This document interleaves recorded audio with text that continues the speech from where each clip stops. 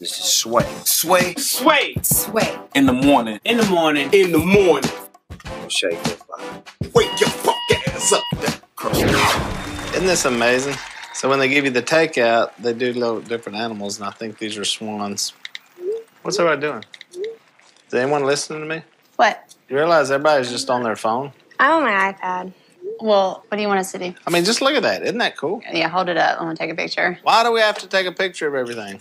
That's cool. I'm gonna put it in the family group text. But everybody's sitting right here. That's a funny picture right there. How's it going, Mom? John Luke, it's right here. This is the real thing. Look, I'm all for cell phones. I use them for just about everything. Family time used to be board games and capture the flag. Now my kids are DMing me to borrow the car. You are missing out on the great things of life, like takeout that comes in the shape of an animal. Yeah, it is, man. That's from the um the series Wednesday nights on A and E, 9 p.m. Season 11 of Duck Dynasty is here. Yeah.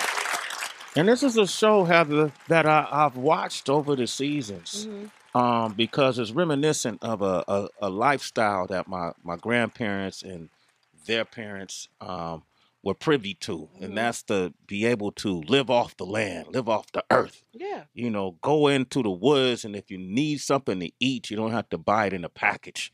You can go shoot it and kill it and skin it and cook it and digest it all on your own. And with the feces, you throw that fertilizer in the oh, garden. Right. Right. Grow it's some all bush. reci- Grow some bush. You grow some bush, recycling system. some great purple, whatever you want to use it for. You know, but I thought it was a, a great inside look on, on a lifestyle in this country that we're not always privy to. And uh, we have one of the uh, founders of the Duck Dynasty with us right now. The one and only Willie is here. How we doing? Good What's to up, be man? here. How you doing, man? It's good to be here. Yo, man, you're a TV star now. Yeah. What's that like? Uh, well, I get recognized a lot more than I used to. Because Yeah. when you look like this, it's kind of hard to hide. So uh, Yeah. even in New York, even Yeah. in New York, Yeah. I went in Starbucks in Midtown, and actually the employees said, "You don't have to pay. We're just honored you were here." So right here in New York, yeah, so That's it's pretty nice. In Brooklyn, you'd look like a hipster, though. Pretty nice. Uh, actually, uh, another guy came up and said, "Are you from Brooklyn?" That's what they- a guy trying to give me a CD said, "You must be from Brooklyn." Yeah. yeah. So you get profiled a lot. I do, yeah. Yeah, M- My brother calls it facial profiling. so Facial yeah, they look and uh, think you. Instead of racial. There you go. Uh, facial, facial- instead of racial, racial, yeah. profile. That is That's hilarious. great, man. With that profile, what are some of the like myths people think about you when they see you? Because you well, you you're from the part of the country you're from. You got a beard. What's kind of like the outlandish thing? well, obviously, you're. I guess you're kind of backwoods and ignorant and Yeah. redneck, possibly homeless. Uh, I have gotten that. I've gotten that a few times. Oh I've my gotten the homeless. Uh,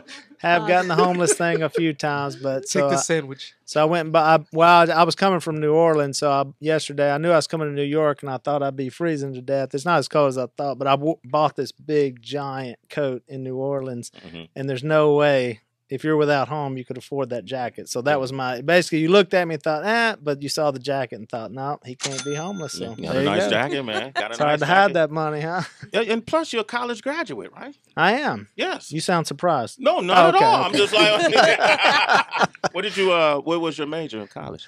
I'll, gi- I'll, I'll give you two guesses. Just Okay. Um, business. Nope. That's always the first one. It's not business. Uh, uh, uh, recreational sport fishing. Oh, you actually come closer than most people. Physical education. I got a PE degree. You got a PE degree. I Just basically went in. My wife, well, I didn't think I was going to go to uh, college. My, my wife was going to college, and she said, You need to go as well if we're going to get married. So I basically found out what the easiest degree you could get was. Wow. And it turns out there is a PE degree that you don't even get a certification to teach, and I have that degree. You have that degree. So I got my I got my degree. This guy is and- brilliant. I just wanted to get through school, and I got through, and uh, so yeah, I have a college. Actually, my father and I are the only two in our family that. Uh, now he's got a master's degree, Uh-huh. And he looks way more homeless than I do.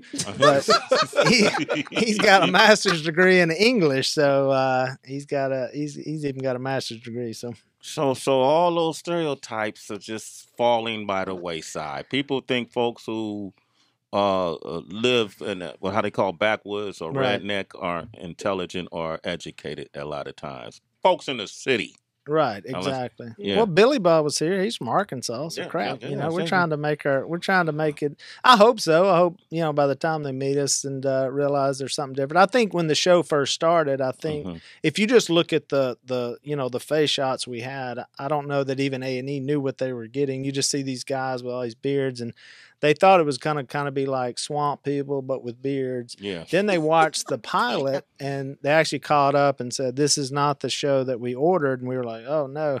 And they said it's way better than the show we ordered. And they said this is actually funny. And they, they saw this family funny thing in there. And so uh, they actually picked up 13 episodes without even the public seeing it. That's how much they thought it was going to work. And turned out uh, they were. But it is. I think our family's much like most families in America. And we got a crazy uncle, we got a old school dad and mom that wants to cook and take care of everyone. And you know how we work together and interaction with brothers and kids and yeah it's a it's it's what happens in america with all of us now maybe everybody doesn't have a giant beard and long hair yeah, but yeah, yeah. but you can see that in the family i think that's why it resonated so much and it was you know we had a prayer at the end and it was positive and so the whole family can watch it and i think all those elements came together and we're still going now Still it's been going. five years and we're still filming Yeah, and that Oh, was wow. the show earned eighty million in its advertising sales first nine months of 2013. The merchandise has generated another 400 million in revenue. So Heather, the reason Crap. why they ain't paying me enough They ain't paying you. I told i ain't you. seen that money but, but- but you know, that's one of the reasons why I've been trying to grow my beard in the whole time, man. is that all you got That's all I got, Willie. oh my Somebody god said you need. God. Remember we had this comment. He needs all I got. vagina juice. man Vagina juice? Right. What? My first girlfriend had a bigger beard than that. Oh. That's hilarious. All right, man. Uh, Thanks for coming. yeah, This is yeah. where it Hey, it was a great interview, man. It was Hey. all good until I made fun of his beard. Oh shoot! Nah, I'm just joking it. with you. I'm joking. We're gonna open up these phone lines 888-742-3345. We're gonna talk about Willie's new book. It's called The American Fisherman. So all anglers, call up right now. Sway in the morning. Sway in the morning, shade four five. Okay, so if you watch Duck Dynasty, Willie is here, man. The, the new the new book is The American Fisherman: How Our Nation's Anglers Founded, Fed, Financed, and Forever Shaped the USA.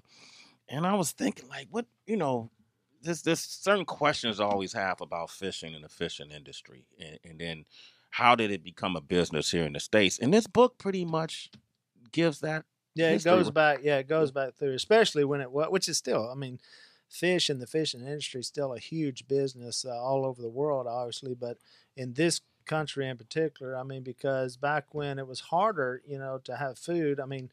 They weren't doing it. This wasn't farm to table. It was farm to table, or you were gonna die. So you had to figure out real Yeah. quickly how to get some some food. And so we go through like the Revolutionary War. George Washington was a commercial fisherman. In fact, it funded pretty much everything Mhm. all his other businesses, but he knew how to fish. So whenever those guys were starving, you know, trying to fight, you know, the Brits, uh, fishing is what ended up saving the day. Lewis and Clark is where they went on this western expansion uh, to figure out all these trails. They ran out of food, and guess what they ate? They Fish. fi- In fact, they ate so much fish they were sick of them. Uh-huh. Uh, and so we we just go through about presidents that like to fish and.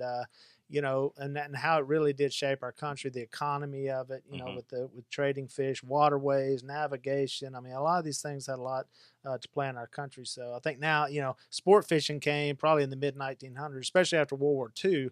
In fact, there was an emergency fishing kit in all the uh, the soldiers, the troops, Mhm. just in case you got shot down.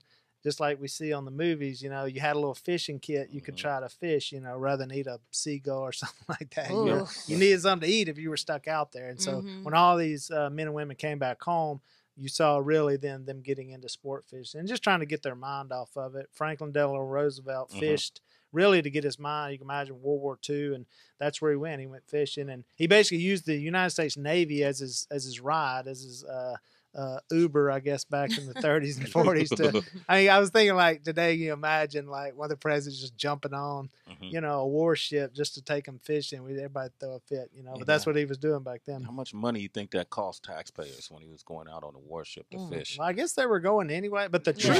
Yeah. I'm trying to be positive, but the but the troops loved it. Can you imagine having a president on there and fishing and t- and talking? So the troops actually love you know love having the president on there. And for him, he was handicapped as well, so it was just his way to get away. In fact, he had Churchill at, at Camp David, and they sat and fished. You know, Mhm. they were talking about you know the Nazis and all these things going on in the world, and because there's some about it, man. I mean, you Yeah, it just- I you get out there and you get away from your phones and everything, just staring at water, and uh, it can really kind of bring you down, and you know, just bring you back to uh, Earth and Yeah. you know the life we live in. And I love it. I just love getting out of all the chaos, and uh, I don't know how y'all do it up here in New York. There's a lot of chaos. It's out here. difficult. It's Mhm. difficult. Willie. In It's West Monroe, difficult. I find me a little riverbank and a bucket and a cane pole, and I can sit there for a few hours and just kind of uh, remember how I grew up. I guess. in the Mm. book, you actually talk about there's some place in Manhattan where they used to fish at. Is there a park? Well, I was well. Oh yeah, yeah, Yeah. that was in man. Yeah, Yeah. that was him. That was uh, Teddy Roosevelt. Where they? I don't think it. I don't think they're still fishing there anymore. And Yeah. I actually fished uh, right.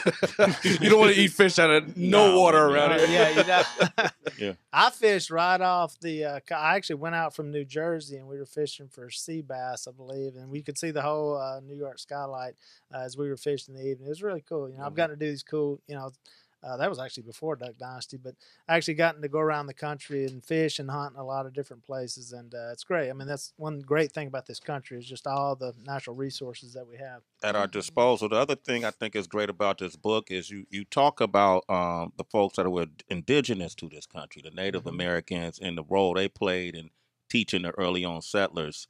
Or at least they had techniques in fishing that was far advanced, right? Oh, we'd have starved to death without learning. Yeah. I mean, because these cats, they don't have line or hooks or anything like that. I mean, they're figuring out how to make little baskets, and they would actually herd them in. They'd all get out in the stream, and they would herd these fish like cattle into their homemade baskets. And Mhm. so they were teaching, you know, a lot of the people that were coming over, teaching them how to fish, and they were.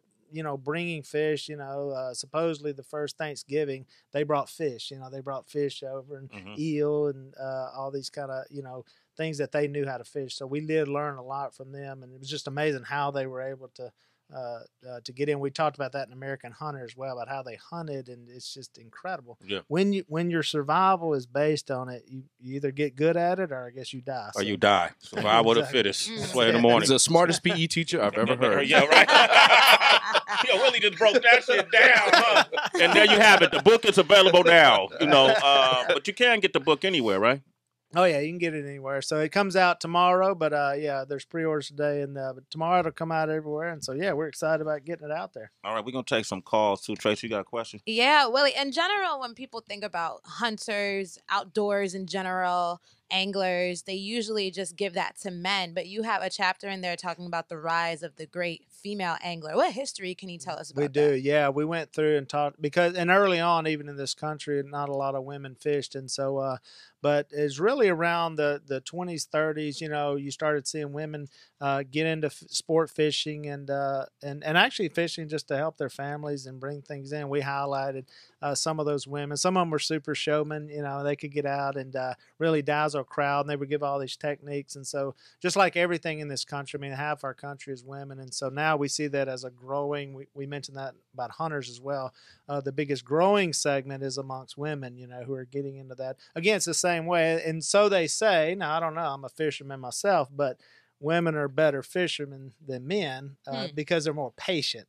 Because Oh. you learn a lot about people when you go fishing. You get frustrated. People start. I, I move. I'm a I'm a spot mover, you know, and then I try to maybe steal a spot, you know, from somebody that's catching them. But women are generally uh, more That's patient, That, and that- so that's uh, bad. That's bad angler etiquette, by the way.